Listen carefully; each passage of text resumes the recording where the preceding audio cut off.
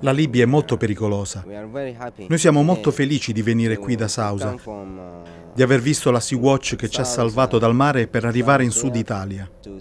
Hassan ha 22 anni, viene dal Sudan, è uno dei 232 migranti che stamani sono sbarcati al porto di Reggio Calabria. La Sea-Watch 3, nave della ONG tedesca battente bandiera olandese, li ha salvati nel canale di Sicilia. A bordo c'erano 215 uomini e 17 donne di cui una Un ragazzo è disabile e 29 sono i minori non accompagnati. Un dodicenne è stato già assegnato in custodia ad una struttura. Vengono dall'Eritrea, Nigeria, Gambia, Mali, Sudan, solo per citare alcuni stati, e tutti sono partiti più di quattro giorni fa dalla Libia. Uno di loro pare sia morto durante la navigazione. Gli uomini della questura sono al lavoro per comprendere la dinamica e soprattutto per individuare gli eventuali scafisti.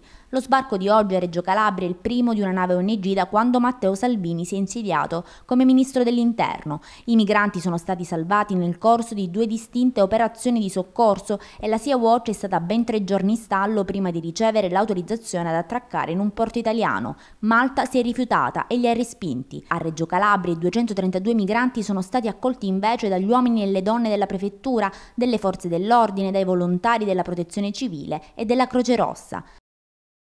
Situazione complessiva da un punto di vista sanitario molto buona, i medici mi hanno dato conferma che non abbiamo difficoltà, come spesso è accaduto nel passato, e quindi tutta la procedura di, di accoglienza sta andando molto bene e sostanzialmente in giornata li collocheremo nelle strutture. Eh, Sea-Watch ha soccorso eh, da un primo gommone persone per lo più di nazionalità sudanese, dopodiché ha eh, assistito eh, percorrendo 90 miglia marittime un mercantile eh, che aveva a sua volta soccorso altre persone. È stato richiesto il supporto di Malta che è stato rifiutato se non per ciò che riguarda evacuazioni mediche aeree.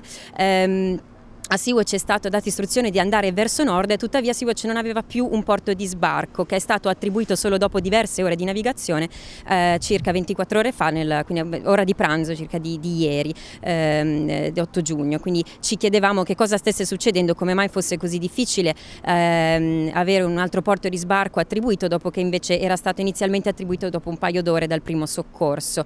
E, insomma siamo, siamo contenti che questo porto ci abbia dato accoglienza. Angela Panzera per la CNews 24.